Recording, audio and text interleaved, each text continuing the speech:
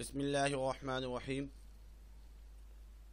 Education in Pakistan Pakistan में तालीम। Chapter number nine P S T मुताल Pakistan. Most important M C Qs short and detailed question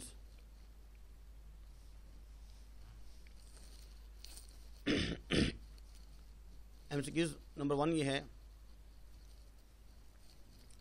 Dash is the only faculty which increase with use एक ऐसी faculty है जो इस्तेमाल करने से वो चीज़ बढ़ती है।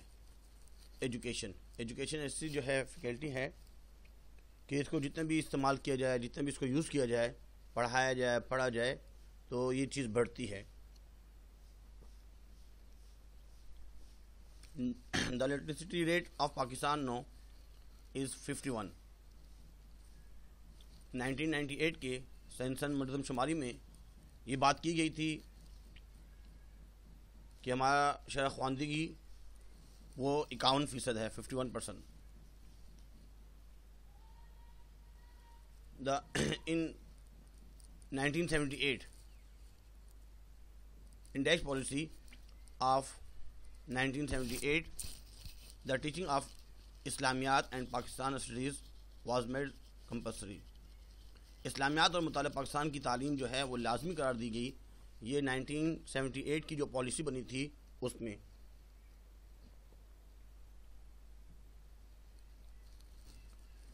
In developed countries, people are 100 percent educated. तरक्की याफ्ता जितने भी मुल्क हैं, उसमें शरा खानदगी जो है पढ़े लिखे लोग जो होते हैं, तालीम याफ्ता, वो सौ फ़ीसद होते हैं। Dash is the root cause of all social events तमाम बुराइयों की और तमाम माशरती बुराइयों की जो जड़ है, वो क्या है? जहालत। इसके बाद है primary stage in from class one to five और मिडल जो है, उसमें six to eight nine matric में सेकेंडरी एमबीबीएस जो है, जो स्टूडेंट्स करते हैं, उसकी ड्यूरेशन जो है फाइव इयर्स है। 1974 इसमें करिकुलम और किताब का जो शोबा है टेक्स्ट बुक वगैरह ये बनाया गया था 1974 में। Short question answer. इसमें एजुकेशन की इम्पोर्टेंस बतानी है, कोई भी फोर पॉइंट्स बताने हैं। एक तो ये बता सकते हैं कि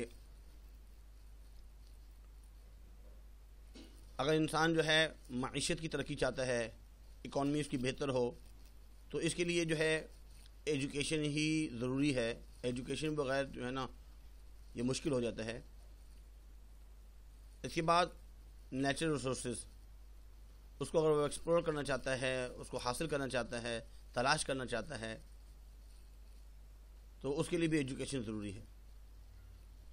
हमारा जो नेशनल आइडियोलॉजी है। हमारा कॉन्सेप्ट क्या है, हमारी नज़रिया क्या है, उसको सही तरीके से जान पहचान अंडरस्टैंड उसी वक्त इंसान होगा जब वो एजुकेटेड होगा। एजुकेशन ही की वजह से। और ये इंसानी ज़िंदगी में बहुत ही हेल्पफुल होती है।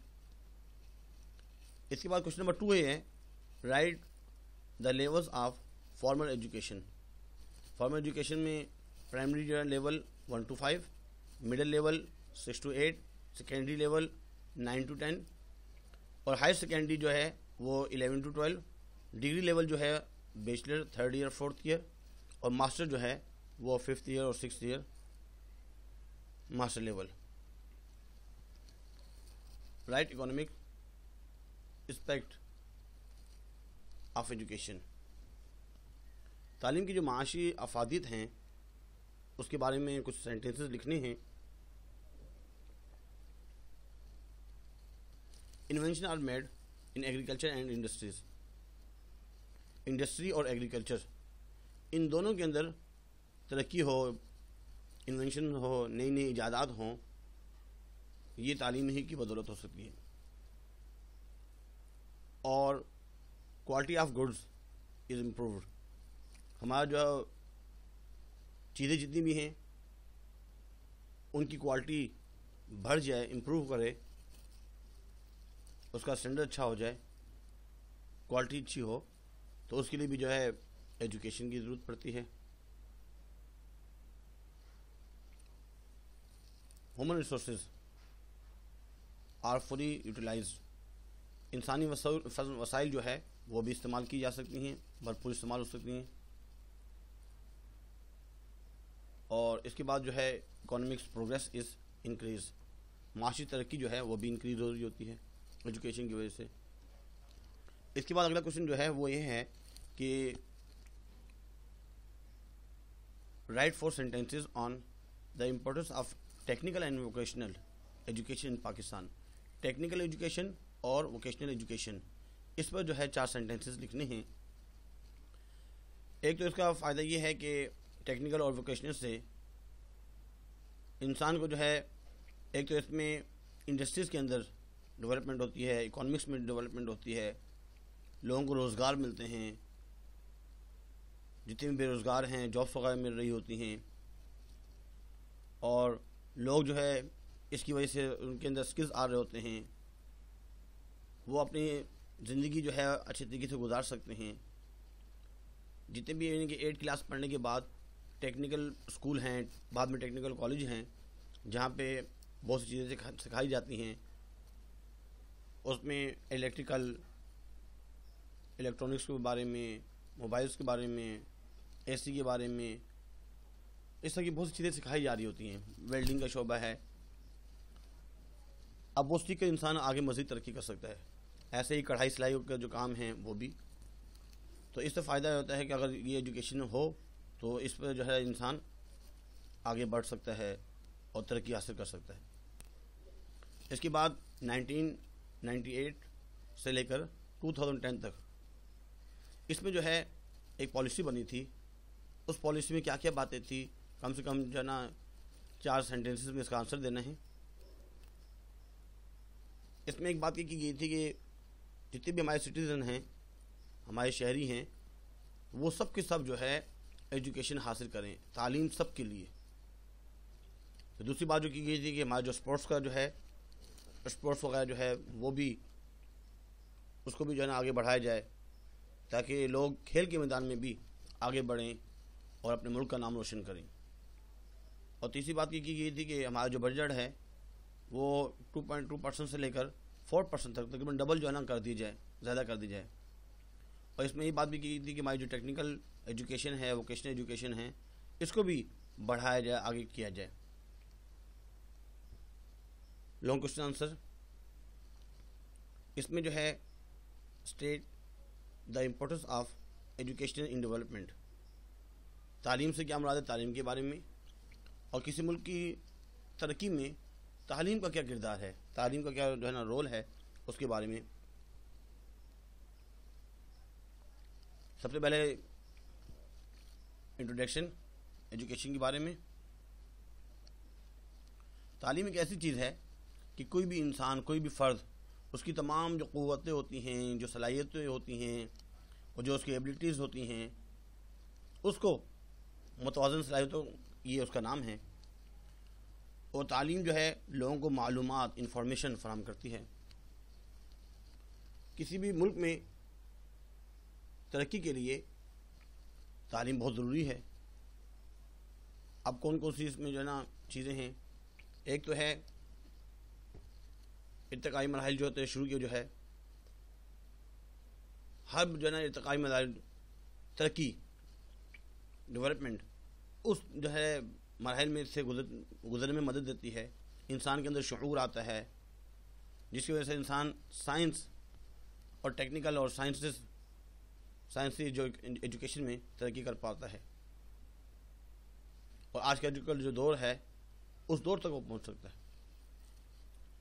फितरी क़वतों की तस्खीर, तालीम इंसान को क़वतों पर काबू पाने में मदद देती है, ताकि खला के लिए कम शुमार राज हाय सरबस्ता को अफशा कर सके। जो चीज़ें छुपी हुई हैं, अफशा हैं, अफशा नहीं है, ज़ाहिर नहीं है, उनको वो अफशा कर सके। एक और इसमें है हमारी जो आइडियोलॉजी है, उसको मुस्तकम करती है। और हबुलवतनी उसको फ़रोग मिलता है, इंसान वतन कर, वतन से मोहब्बत करता है। अंडरस्टैंडिंग राइट्स एंड ड्यूटीज़ हर इंसान की जो अपने राइट्स बनते हैं, जो हकूक़ हैं, जो ड्यूटीज़ है, उससे उसको आगाही होती है, पता चलता है कि मेरे फ़्राइज़ क्या हैं और मुझे, मेरे हकूक़ क्या हैं, मुझे अपने मुल्क के लिए क्या करना है। ऐसे ही बहुत सी ऐसी चीज़ें हैं, उसके अंदर एबिलिटी आती है, वो क्रिएट हो रही होती हैं नई नई चीज़ें पैदा हो रही होती हैं, सलाहियतों की तख्लीक हो रही होती है। इकोनॉमिक्स प्रोग्रेस एक तो फ़ायदा ये होता है कि इंसान की जो माशी तरक्की हो रही होती है। तालीम का मैार बढ़ रहा होता है, लोग जो ना हुनरमंद बन उनके अंदर स्किल्स आ रहे होते हैं। और जिसकी वजह से जो है, उनका मुल्क भी तरक्की कर रहा होता है, वो भी तरक्की कर रहे होते हैं। एक्सप्लोनेशन ऑफ़ नेचुरल रिसोर्स एक फ़ायदा ये भी होता है कि नेचुरल रिसोर्स हैं, कुदरती वसाइल, उसकी तलाश। एजुकेशन ही की वजह से इंसान वो तलाश कर रहा होता है। और इन्वेस्टमेंट ऑफ़ ह्यूमन रिसोर्स इंसानी वसाइल को फ़रोग भी दी जा रही होती है, उसमें इन्वेस्टमेंट की जा रही होती है सरमाकारी की जा रही होती है, और उसकी बदौलत ही इंसान जो है, वो साइंटिफिक और टेक्नोलॉजी उसमें जो है एडवांस होता रहता है, आगे बढ़ रहा होता है। इसके बाद अगला क्वेश्चन है कि describe the structure of formal education in Pakistan Pakistan की जो फॉर्मल एजुकेशन है, उसके बारे में रस्मी तालीम क्या होती है? रस्मी तालीम असल में जो हमारी रस्म में चलती आ रही है, एक बाकायदा निसाब होता है, तरतीब होती है, साजा होते हैं और एग्ज़ाम हो रहे होते हैं mid term final term test वगैरह हो रहे होते हैं। क्लास वन है two three four five primary section फिर मिडिल सेक्शन फिर हाई सेक्शन उसके बाद इंसान कॉलेज में जाता है हाई सेकेंडरी फिर यूनिवर्सिटीज़ वगैरह में जाता है और डिग्री क्लासेस को पढ़ रहा होता है। ये पूरा जो ना, एक फॉर्मल जो है एजुकेशन है। उसके बारे में पढ़ने बहुत ईजी है। सबसे पहले जो है primary stage one to five तक। और इसमें एज जो होती है, वो फोर या फाइव ईयर्स होती है। मिडिल स्टेज मिडिल स्टेज जो है, वो सिक्स टू एट तक है। और ये प्राइमरी के बाद ये स्टेज होती है। इसके बाद सेकेंडरी स्टेज इसमें नाइन और मैट्रिक को पढ़ना होता है। और ये तकरीबन दो साल इसमें पढ़ना होता है। इसमें जो है बोर्ड की तरफ़ से उसको सर्टिफिकेट इशू होता है। जब वो जो है सेकेंडरी एग्जामिनेशन पास कर लेता है। उसके बाद higher secondary stage first year second year ये भी सेकेंडरी स्टेज के बाद होता है, दो साल का होता है। इसके पास करने के बाद भी बोर्ड की तरफ़ से जो है बोर्ड की तरफ़ से एग्ज़ाम होता है और सर्टिफिकेट जारी किया जाता है। Degree level. डिग्री लेवल में जो है, ये तकरीबन जो है, दो साल, तीन साल का जो ना कोर्स होते हैं ये। डिग्री हासिल की जाती है। और वो थर्ड ईयर, फोर्थ ईयर पढ़ रहा होता है। इसके बाद है प्रोफेशनल एजुकेशन। प्रोफेशनल एजुकेशन भी जो है पेशा वराना जिसमें डिप्लोमा होता है, बहुत से लोग इलेक्ट्रिकल में, मैकेनिकल में, ऑटोमोबाइल में, सिविल इंजीनियरिंग में और कंप्यूटर वगैरह में जो है डिप्लोमा कर रहे होते हैं। और ये डिप्लोमा अक्सर जो करते हैं, वो सेकेंडरी की बात करते हैं। सेकेंडरी करने के बाद कुछ लोग जो है ना, वो एफएससी कर रहे होते हैं और कुछ लोग जो है, वो डिप्लोमे कर रहे होते हैं। इसके बाद है इंजीनियरिंग डिग्री एफएससी करने के बाद जब वो प्री इंजीनियरिंग पढ़ लेते हैं, उसके बाद इंजीनियरिंग डिग्री के लिए जो है ना जाते हैं। चार साल जो है ना, पाँच साल को पढ़ना होता है। बड़ी बड़ी जो है ना इंजीनियरिंग की जो है यूनिवर्सिटीज़ होती है, वहाँ पर। ऐसे ही प्रोफेशनल एजुकेशन में एक है medical degrees M B B S करवाया जाता है, पाँच साल का होता है तकरीबन. और ये जो है आफ्टर हायर सेकेंडरी इंटर के बाद ये कोर्स होता है. इसके बाद है कॉमर्स कॉमर्स जो है, इसमें फ़र्स्ट ईयर अगर कॉमर्स में किया हो आई कॉम किया हो, उसके बाद बी कॉम है, कुछ लोग बी ए करते हैं, बाद में एम बी ए करते हैं सी ए करते हैं सी सी ए करते हैं। तो कॉमर्स में भी जो है ये भी एक प्रोफेशनल एजुकेशन है। और आजकल इसकी बहुत ज़रूरत है और फ्यूचर जो है ना वो कॉमर्स ही का है ज़्यादा। इसके बाद है एग्रीकल्चर डिग्री अक्सर जगहों में जो है ज़रात खेती बाड़ी वगैरह पर जो है डिग्री हासिल की जा रही होती हैं। बीएससी करते हैं एमएससी करते हैं। हाई एजुकेशन जो है इसमें MA, MSc, MCom, MBA, S और बहुत से लोग जो है स्पेशलाइजेशन भी करते हैं। इसके बाद इंफॉर्मेशन टेक्नोलॉजी आई आईटी के बारे में। आईटी में क्या होता है कि हज़ारों किलोमीटर के फासले पर डेटा जो है ना वो भेजा जा सकता है। एक सेकंड में डेटा जो है यहाँ से वहाँ से तक पहुँच जाता है दूसरे मुल्कों में। इसमें जो है बहुत से जो है ना पेमेंट वगैरह जो है वो ली जा रही होती है, दी जा रही होती है। बहुत ही आसान है और बहुत तेज़ी के साथ ये हो रहा होता है। पाकिस्तान में भी जो है इसकी जो है दो आईटी यूनिवर्सिटीज़ हैं। एक जो है कमसेट्स है और दूसरी फास्ट और इसके अलावा बहुत छोटे छोटे बड़े इदारे भी हैं। और आईटी के जो मकासद हैं क्या क्या हो सकते हैं ऑब्जेक्टिव क्या क्या हो सकते हैं।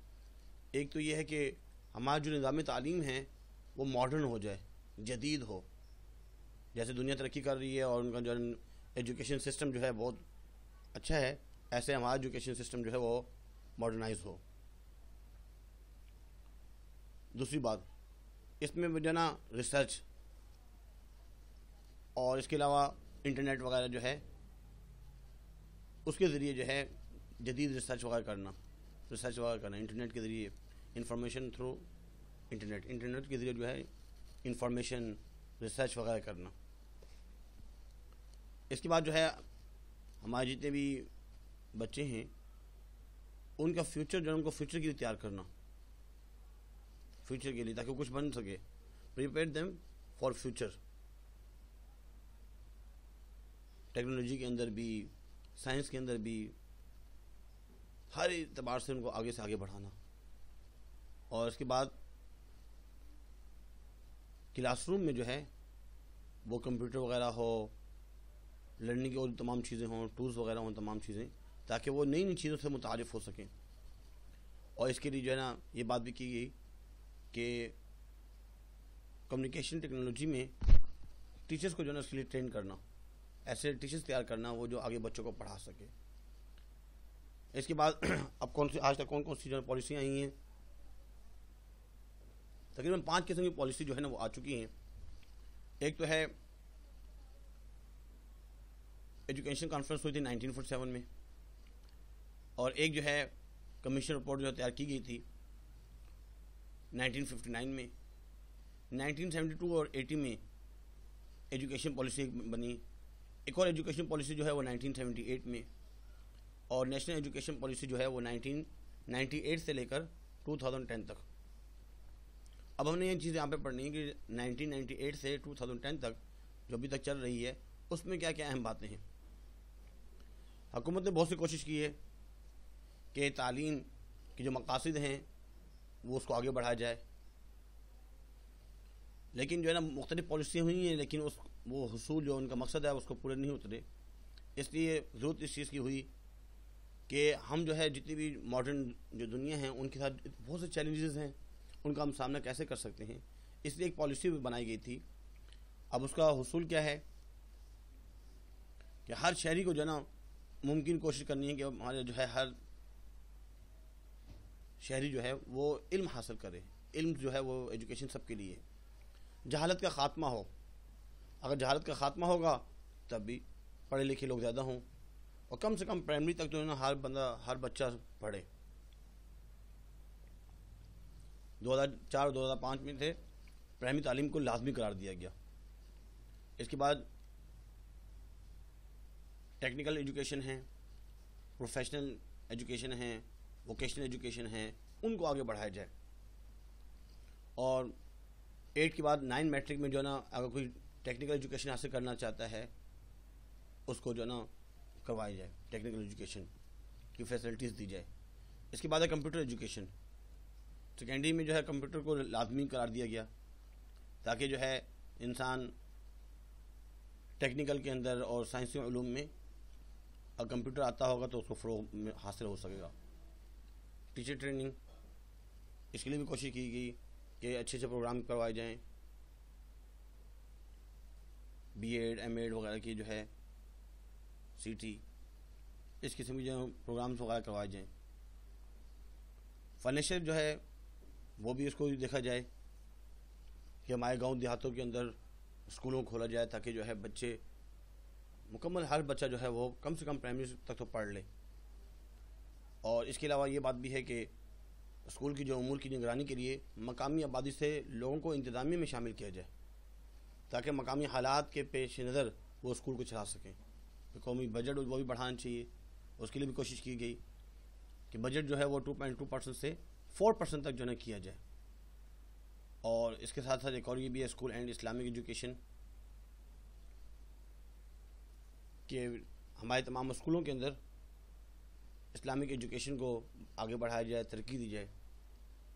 और लास्ट में जो है प्रमोशन ऑफ़ स्पोर्ट्स स्पोर्ट्स को भी जो है प्रमोशन दी जाए, ताकि बुनियादी तौर पर लोग खेलें और खेल के मैदान में भी आगे बढ़ें।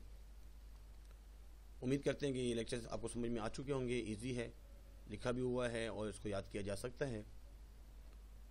आगे आदमी शेयर किया करें, ताकि दूसरे लोग भी उससे मुस्तफ़ हो सकें। और अगर चैनल सब्सक्राइब नहीं किया तो सब्सक्राइब कर लीजिए, लाइक किया करें। आज के लिए इतना ही काफ़ी है। अल्लाह हाफिज़। वमा अलीना इलाबलाबीन अपना ख्याल रखिएगा। अल्लाह हाफिज़।